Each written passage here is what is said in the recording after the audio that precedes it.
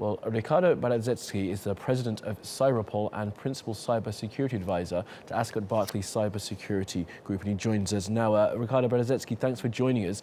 So, what kind of defences can be put in place uh, by companies and organisations to stop these kind of attacks happening in the future? It's very, very difficult to stop these kind of attacks. I think what we have to focus on is the way the security system work worldwide.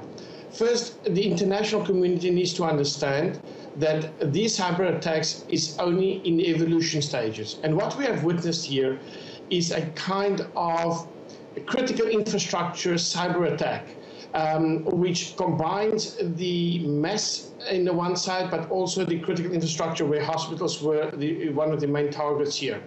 So this is a very sensitive but difficult question to answer and to say, well, what is the solution?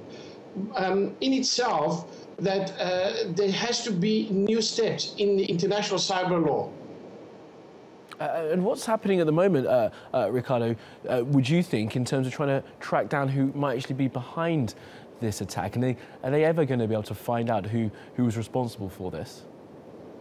I doubt very strongly um, if there will ever be accountability for any attack similar.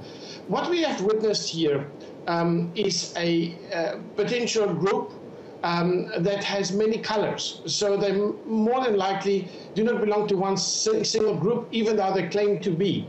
Um, and more important is, is that this attack shows us that a day zero or zero day vulnerability indeed exists.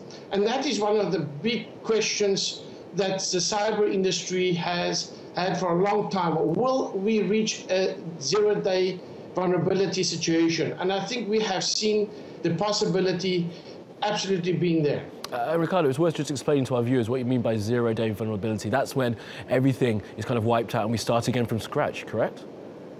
Well, yes and no. Um, it, it, means that ineffectively it can uh, cripple the critical infrastructure on a global scale, not only on a national scale.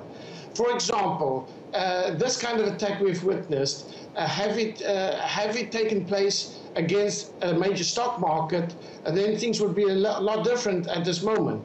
And that is where the, the danger lays in the fact that the cyber industry is far more advanced than governments, and governments has to realize that they are allowing tools to be developed that can be used effectively against them. And uh, this is uh, certainly a uh, indication that a potential zero-day vulnerability uh, could definitely exist in the future and in very near future as such. Okay, uh, Ricardo Baretzky from the Ascot Barclay Cybersecurity Group, thanks very much for joining us.